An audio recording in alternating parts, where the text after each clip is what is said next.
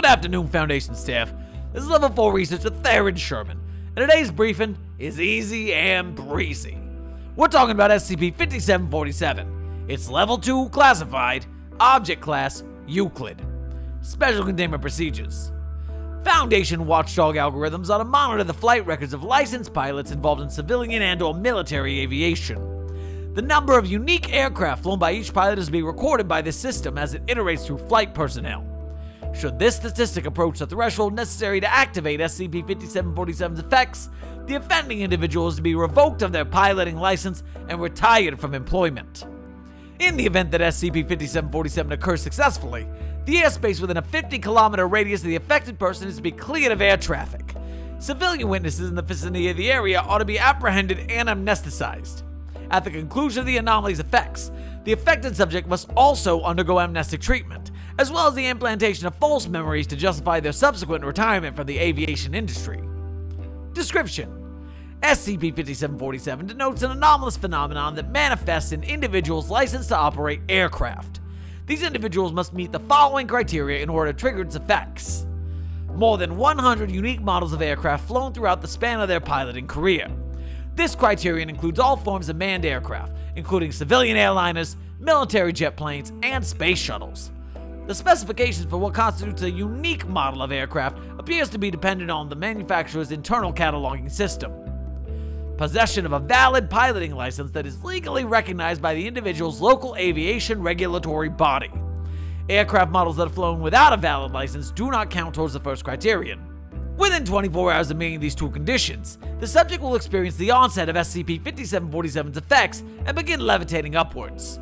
Any attempts to impede this ascent will invariably fail, as the subject will pass through any solid objects blocking their path. The velocity of this upward movement increases at a geometric rate and levels out to a constant speed as the subject rises above the cloud layer. As the affected individual enters the stratosphere, the atmospheric particulate in front of the subject will coalesce into enormous letters. These formations spell out the names of notable figures in the aviation industry, ranging from early aircraft inventors to modern aerospace engineers.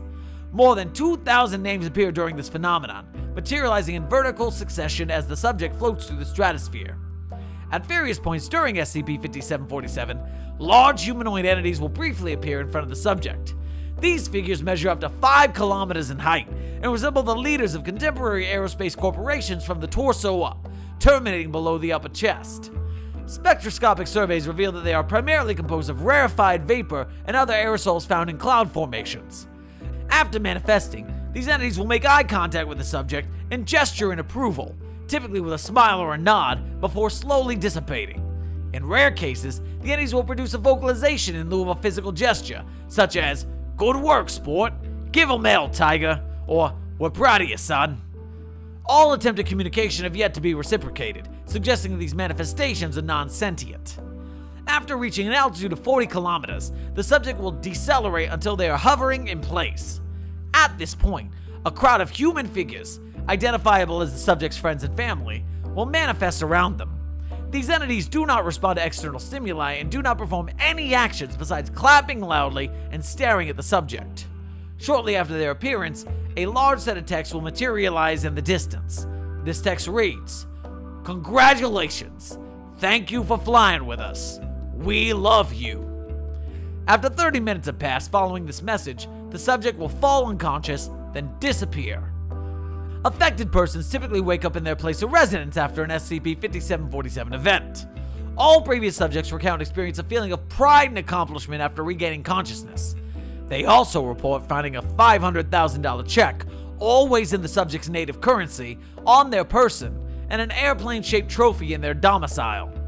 Subjects have also reported gaining an implicitly understood ability to requisition a gold plated aircraft from any airplane manufacturer of their choosing.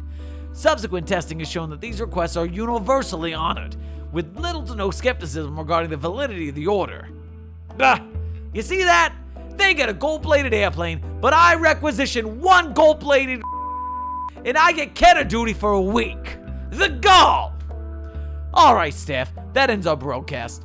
Use your Foundation Encrypted YouTube account to like, comment, and subscribe, hit the bell, and support our broadcast at patreon.com slash site42.